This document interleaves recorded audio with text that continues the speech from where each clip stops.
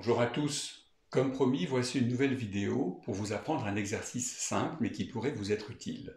Je vais vous montrer comment stimuler la branche ventrale de votre nerf vague et quelques autres nerfs importants. Ouh là là, qu'est-ce qu'il nous raconte? C'est quoi la branche ventrale de notre nerf vague? Je vous explique. Le nerf vague, qu'on appelle aussi parasympathique, fait partie du système nerveux autonome ou le système nerveux végétatif qui assure le bon fonctionnement de presque tous nos organes. La branche ventrale s'occupe des organes situés au-dessus du diaphragme, le cœur, les poumons, le pharynx, le larynx, les cordes vocales, l'oreille externe. Et la branche dorsale s'occupe des organes situés sous le diaphragme, le foie, la vésicule biliaire, l'intestin, la rate, la vessie, les reins. Vous trouverez dans mon blog euh, dans mon article sur la théorie polyvagale de Stephen Porges, plus d'explications sur le système nerveux autonome et sur le rôle des deux branches, ventrale et dorsale, du nerf vague. L'exercice que je vais vous montrer permettrait d'activer la branche ventrale du nerf vague de manière simple et sans effet secondaire. Cet exercice a été élaboré par Stanley Rosenberg, un thérapeute corporel qui a écrit un livre sur la puissance thérapeutique du nerf vague, préfacé par Stephen Porges lui-même. Vous trouverez la référence de ce livre sous la vidéo. M. Rosenberg assure que cet exercice réaligne les deux premières vertèbres cervicales, l'atlas et l'axis, et stimule la circulation sanguine dans le tronc cérébral, améliorant ainsi le fonctionnement de plusieurs nerfs crâniens, dont la branche ventrale du nerf vague, mais également le nerf trijumeau, le nerf facial, le nerf glossopharyngien et le nerf hypoglosse. Rassurez-vous, je ne vais pas vous faire de cours d'anatomie. Lorsque tous ces nerfs fonctionnent correctement, ils nous permettent de communiquer les uns avec les autres, d'interagir socialement et aussi de nous auto-apaiser. Rappelez-vous que communiquer fait intervenir entre autres la voix, l'audition et les muscles du visage et du cou. Ce système d'engagement social permet de nouer des relations amicales et amoureuses et partager plein de choses avec les autres. Travailler, jouer, chanter, faire du sport, manger, raconter une histoire à un enfant et bien d'autres choses encore. Et quand on est engagé socialement, on se sent mieux. Voilà pourquoi cet exercice peut vous être utile. Je vous décris maintenant la manière de faire l'exercice. Avant de le pratiquer, vous allez d'abord apprécier la mobilité de votre cou en tournant la tête à droite et à gauche pour observer le degré de rotation dont votre cou est capable sans inconfort.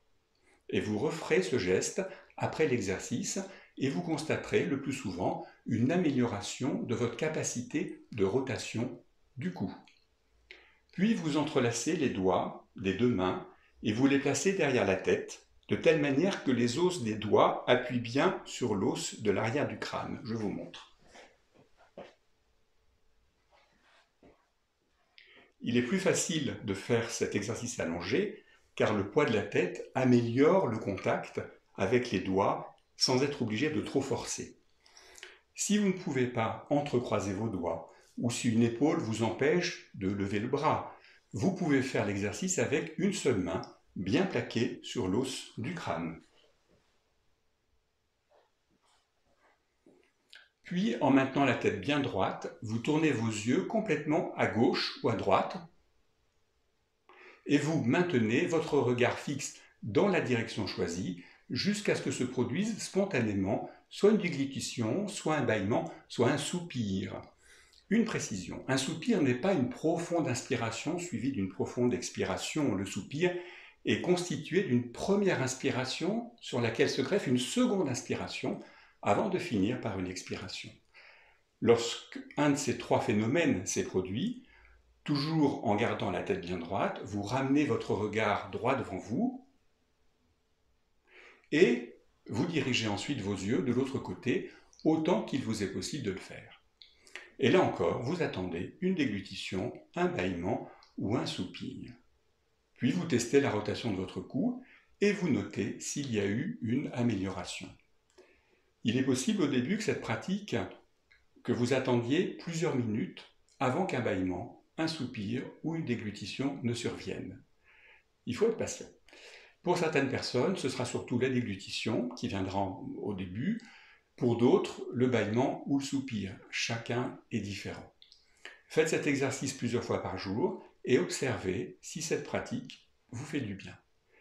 Il existe beaucoup d'autres manières d'activer le nerf vague dans sa globalité, tout aussi simples à mettre en œuvre, par exemple chanter, dormir sur le côté, côté droit de préférence, s'exposer régulièrement au froid pour ceux qui aiment les douches froides, provoquer un réflexe nauséeux en stimulant deux fois par jour avec votre brosse à dents votre voile du palais au fond de la gorge, faire des gargarismes, respirer avec le ventre, faire du yoga, de la méditation de pleine conscience, rire rigoureusement, vigoureusement et être en lien avec les autres, écouter de la musique, paraît-il surtout du Mozart, et particulièrement la sonate pour deux pianos K448, Prendre le soleil et j'en passe.